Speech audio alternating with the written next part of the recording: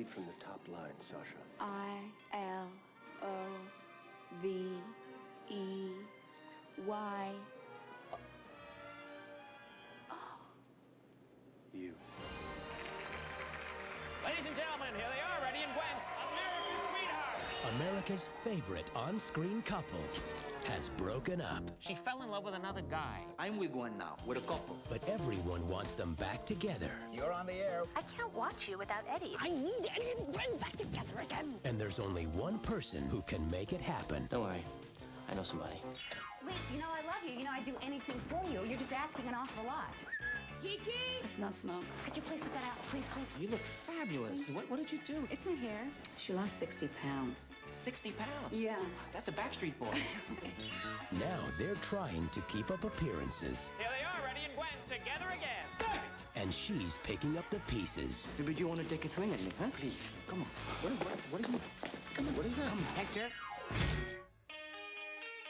Are you okay? Something happened tonight. Gwen was drawing me to her. And there she was. And I thought to myself, that's the woman I'm supposed to spend the rest of my life with. The woman by the pool. Gwen. This summer, the real story is happening off screen. What are you thinking right now? Something that I shouldn't be thinking about. Does this have something to do with Gwen? Kiki. Kikikins. My butter has touched another food. I need new butter. So what is it? You're in love with Eddie? Wouldn't that be stupid? Revolution Studios presents Are you seeing anybody? What do you think about how I answer that? What? You moron! Is a very complicated situation. Let me uncomplicate it for you. That woman that you saw by the pool the other night. No, that woman that you just have to spend the rest of your life with.